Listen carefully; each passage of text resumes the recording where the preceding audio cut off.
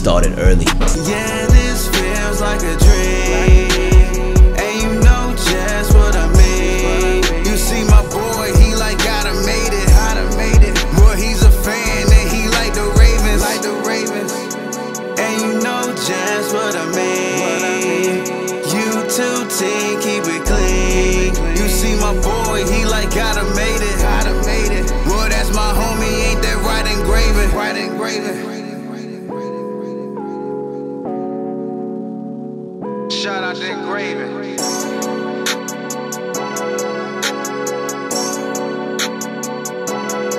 YouTube team, keep it clean. What's going on? It's Ingraven here with another video, and man, what we've all been waiting for.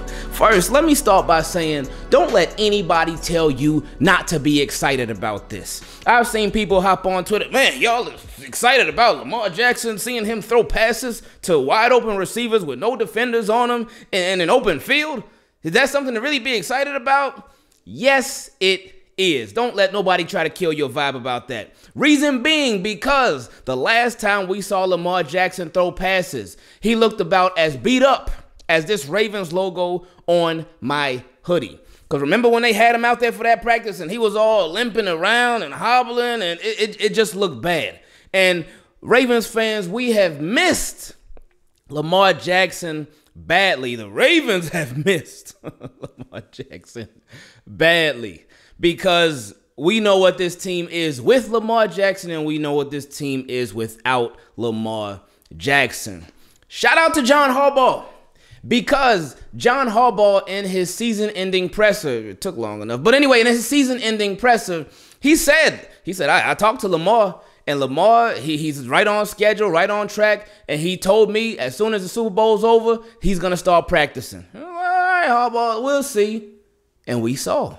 I said, oh, okay, okay, hey, JH, Mr. Hall, good, good stuff. But it was nice to see. And it was nice to see him get it in with his receivers, both Rashod Bateman, last year's first round pick, and then James Proche, who said he is never going to miss the playoffs again. And hopefully that stays true. Now, um, what does this mean? What does it mean that he was working out with his receivers already? Like, I was surprised because I'm like, man, like the Super Bowl was literally just a couple days ago. Literally just a couple days ago. To me, this shows that, hey, they trying to get this thing right already. They trying to get this thing right from the jump. They trying to get this thing in motion, and the more that they can work together, the better. Now, one thing to please keep in mind, because I know this happens every offseason with people, and everybody jumps to conclusions and they start driving themselves crazy. Because, and, and a couple of things. Now, I know with all the, the rumors and stuff and all the craziness that's just been being talked about with Hollywood Brown in the past 24 hours. I know there are gonna be people like, "Oh man, Hollywood wasn't there. Where was he? Is, is there some?" And let's just let's just let it play out. But another thing, because like just like last year, there were some receivers that weren't there initially, but then they all ended up showing up. But another thing that's even more important than that is that just because somebody does not put their workout on social media. Just because somebody doesn't record themselves throwing or catching passes or running routes or blocking or weightlifting or whatever it may be. Just because somebody doesn't post it, it does not mean that they are not working. Now, I know for a lot of people, they like seeing is believing. Of course, in this day and age of social media, everybody wants to see their favorite players working out. Everybody wants to see their favorite players posting a video. So when you see some favorite players from one team post a video, but you see other favorite players from uh, that same team not post a video, it can drive some people crazy. But try not to let it drive you crazy. Because again, just because somebody doesn't post everything that they're doing, it doesn't mean that they're not doing it. And even on the flip side, just because somebody posts themselves working out, it doesn't that doesn't even mean that they on the grind like that 24/7. So just just relax. Just relax as we head into what I'm sure is going to be a crazy offseason. I mean, it's already been a crazy offseason, and we only been in it for a couple of days. Because, I mean, the end of Ravens' regular season was crazy. The, the, the playoffs throughout for Ravens fans was crazy because it was just a lot going on. There has still been a lot going on. But anyway, this is good. I like it. I'm with it. I got no problem with them posting this. And I'm sure Lamar just wanted to give everybody a friendly reminder of, hey, I'm still around. Uh, y'all keep forgetting about me. Y'all keep like so, like there was a list that Nick Wright came up with, and he said that the Ravens it was all these these tier lists about uh, projections for next season, and he said for the Ravens the tier that they were on was questionable at the quarterback position. Now some other teams that were questionable at quarterback were um were the Titans, and oh it was another one too, but I'm like eh. anyway. Um, but I think Lamar more so wanted to show everybody like, hey, I'm healthy. I'm ready. I'm here. I'm I'm good. And boy, like man, that that is that is what we want to see from every single Ravens player this upcoming season. Because last year, oh, last year we already know what last year was, or really what last year wasn't, uh, cause everybody got hurt. It was so sad, man. But this is a good sign. He looks like he's 100% ready to go. He was moving around. You saw his footwork and all that. And it was like, all right, let's go, Lamar. And Rashod Bateman, him having Rashod Bateman and James Proche out there. Now, that's, um again, another good sign. A good sign that, and again, with them doing this so early, like it's literally February. We usually don't start seeing these kind of videos till like maybe like April, May. Um, but this, this this is cool, man.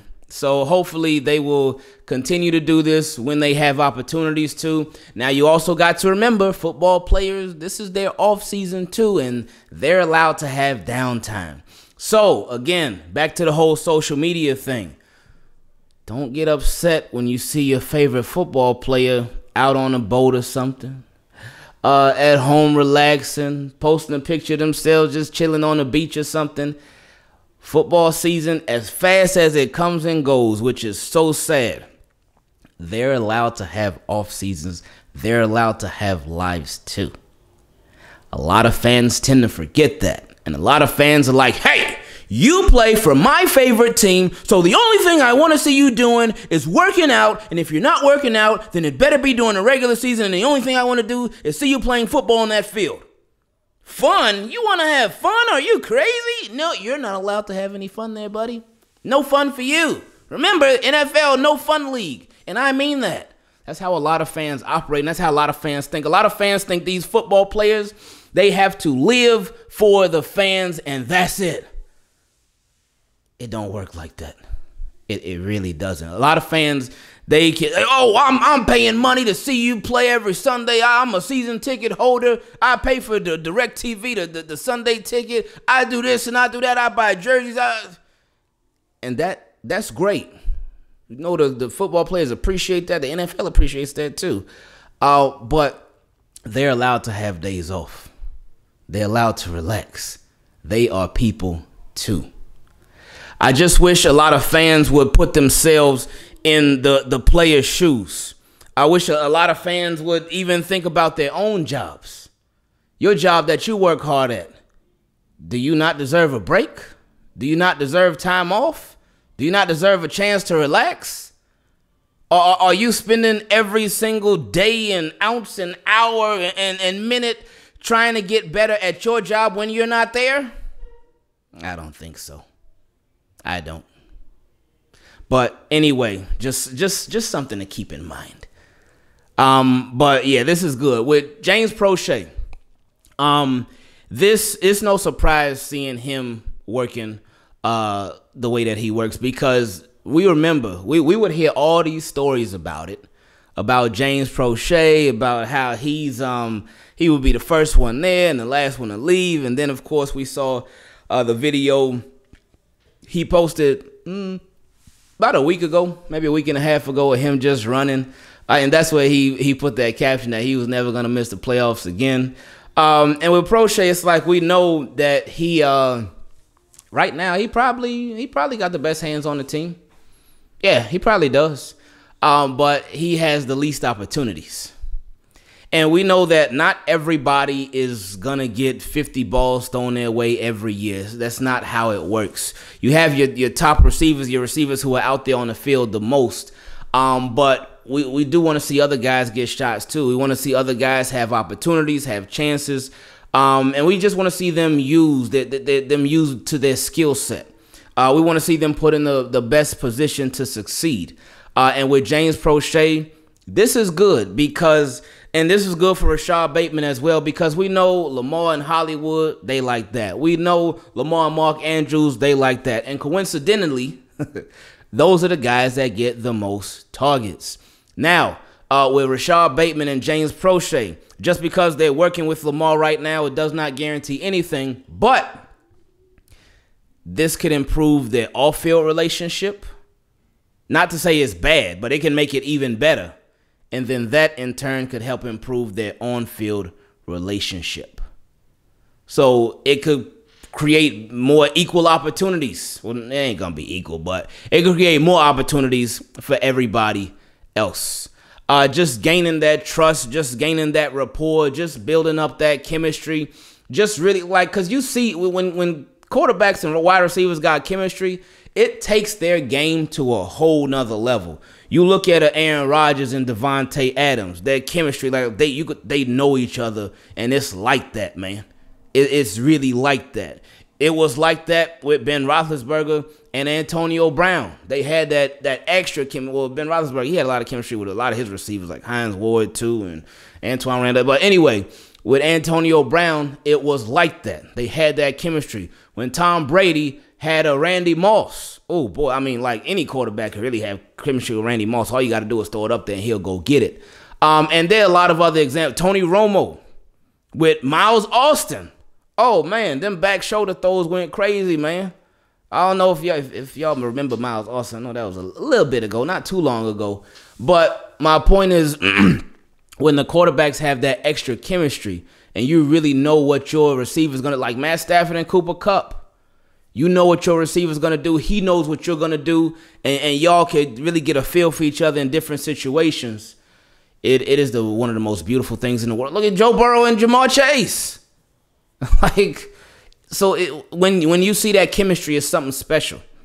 So a quarterback's not gonna have that same chemistry with every single wide receiver on a team. It would be nice, but that's like we wouldn't expect that. But he can have chemistry with all of his receivers.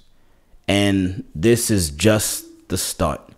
So hopefully this um continues. It just turns into something great. And the Ravens can really do everything that they could possibly do um, to just really take their game to the next level. And the players, they need to be held accountable. Um, they they got some stepping up that they got to do. Uh, of course, we talked about Greg Roman coaching, Harbaugh, every everybody. Eric DeCosta, like this offseason, it is so big for everybody. Everybody got to step their game up all the way. And that's just to be competitive. You got to step it up another notch if you're going to be competitive and successful. So, Ravens, they they they got a, a shot here to do something serious to make some noise cuz a lot of people forgot about the Ravens. A lot of people forgot about the Ravens, and you can understand why because of recency bias, because of those last six games, because so many people got hurt and whatnot and ended up being out for the season. So Ravens, they weren't this hot team they they had been, but then when of course when Lamar went out, it was like, oh, okay. And people forgot about the Ravens. And and I, I understand why. Like I said, I get it. I, I, I when so I of know when Ravens fans they say, "Oh man, all these people they, they they talk about the Ravens like they fell off." They did fall off at the at the end of the year. We know why the reasons were that they fell off because they lost six straight. They lost Lamar Jackson. It's like, oh, okay, yeah. So that erased Baltimore from a lot of people's minds, but they are in a position where they can give everybody a wake up call, and they can sort of uh, not that they'll necessarily be underdog. Well, they kind of will, Because everybody's like, all right, hey, Bengals, they they got the AFC North now. They just came from the Super Bowl. Even though they lost it, they swept the AFC. Well, not the AFC North. They swept the Ravens and the Steelers. They didn't sweep the Bengals though. But anyway, um, they they were at the top of the AFC last year. Swept the Chiefs, swept the Raiders, the Titans. They did their thing last year. So everybody's like, all right, AFC, Bengals, Chiefs, Bills, da da da da. I ain't really talking about Ravens like that. And now Ravens, they got the fourth place schedule. Um, not that that necessarily means it'll be easy. That doesn't mean that because I don't think any NFL schedule is easy because these are teams that can show up too. We've seen it so many times. We're in Ravens games where it's supposed to be these teams where Ravens supposed to just dominate them. But Ravens, they end up getting dominated. Um, and it's happened to plenty of other teams along the way as well. Uh, so it's it's important that the Ravens just know the task that's in front of them, the challenges uh, that lie in front of them, and they end up taking care of business. Team, keep it clean. I love y'all so much. I hope that everything is going really, really good for y'all. Um, this this off season is just it's, it's crazy, and it just got started. Uh, we have plenty of questions from subscribers to do. We have a lot that are done already. Um, and y'all will see those videos in the short future. Um, but I love y'all. I love y'all. Y'all stay up. Hey, reach out to your family, reach out to your friends, check on them, let them know, uh, or check on how they doing. Let them know that you you're doing all right too. See if they need anything, even if it's just to talk or text or whatever. Check up on your people. Love you. Stay up. Stay safe. We out.